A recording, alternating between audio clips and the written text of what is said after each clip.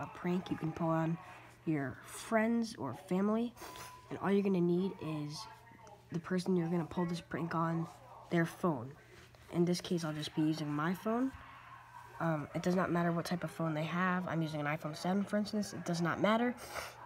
And uh, you're gonna wanna get into the person's phone, turn it on, and you're gonna wanna go to settings. Then you're gonna wanna go to their general. Once you get to this page, you're gonna wanna go to keyboard. Then you're gonna go to text replacement, and you should get to a page over here. So, once you get to this page, you're gonna wanna click this plus sign right in the corner over there. So I'm just gonna click that, and type in a silly word on the top. So I'll type in the word poop. And um, you want to for this you want to type in some like the word a word that this person uses a lot. An instance will do hey and save. So now it's been added. And when you type in hey, it'll come up as poop. So we're gonna,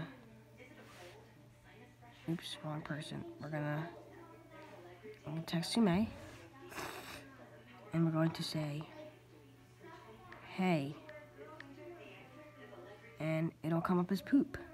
So now when, if your parents are in a conversation, your parents are in a conversation with your, uh, with your, with their, um, company or anything, stuff like that, and they have to talk about business and like an instance will do if my if um if if your parent was talking to your like their boss and they would say hey boss. Oops they would say hey boss right?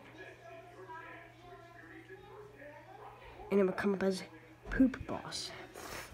So whenever someone types the word hey it will automatically come up as poop. And in order to get rid of this, you just want to go back into settings, back to this page, and you're going to want to click edit,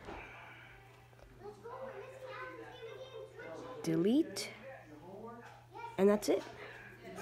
So that's how you do this prank on your friends or family. And I uh, hope you enjoyed this.